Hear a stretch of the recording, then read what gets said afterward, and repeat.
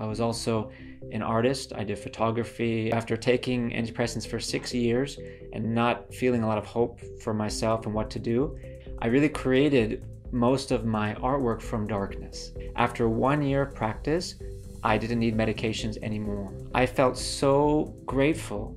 I was a depressed, wandering artist, and I found hope and power through brain education.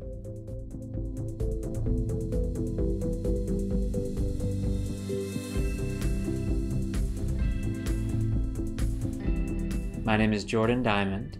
I'm from West Hills, California. I'm an instructor at Body and Brain Yoga in Atlanta, Georgia.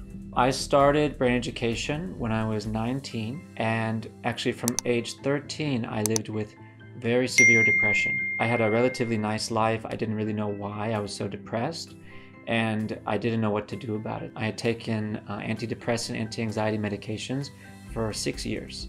I was even doing therapy at that time, and everyone told me that's just how you are. The whole time, I really didn't like taking medications because I knew, like, deep down, there's nothing wrong with me. I just couldn't handle something, I couldn't manage something. I was also an artist, I did photography and um, different types of like poetry. And I really created most of my artwork from darkness. And that's all I knew how to do. And there was some energy there. There was some power there for me. I went to go live in Northern California with some family when I was 15. There, I started to develop my connection with actually nature a lot too, in the mountains with the like the natural world and expressing my art. I used to do a lot of nature photography. I used to spend a lot of time outdoors by myself. Hours and hours I could be by myself, but I realized that wasn't making me happy. Later, I can look back and see that I was looking for something. So when I was 19, I moved to Atlanta, Georgia, and that's where I found the Body and Brain Center. It was at the Body and Brain Center I found brain education. All those experiences, all the kind of uh, unsettledness I had, that I was looking for something to kind of ease the pain I was feeling inside. When I found brain education, I trained a lot.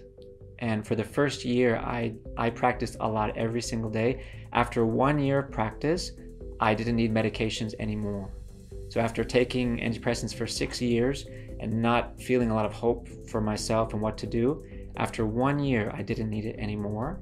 And at that time, after one year, I felt so grateful that I decided to become instructor because I felt like the people who shared this with me, if I just say thank you to them, that doesn't serve what I received. So I decided I need to do this for other people. So now I can share my love to people and I create my artwork in a totally different way. I've moved to doing more portraiture, and my ability to open up myself helps them open up as well and create very magical results. That's a big power of my mission and what I'm doing going forward as well. Uh, my favorite brain education principle is definitely choose and it will come true. For many years, I heard this, but I didn't really get it and it wasn't working for me. And then when I started to go deeper into myself, I could see the ways in which I was choosing things I didn't want or blaming things on outside. And when I really chose, started choosing for myself, I began living my life confidently. I began training myself to be strong physically, emotionally, mentally, and really starting to choose what it is I want. What I would say to my old self is don't worry and find someone to help you. Some things you can use your own smartness to figure out. Some things you need some guidance by someone who's already figured it out. So don't try to do everything by yourself. That can be the slow way to do it. I was a depressed, wandering artist, and I found hope and power through brain education.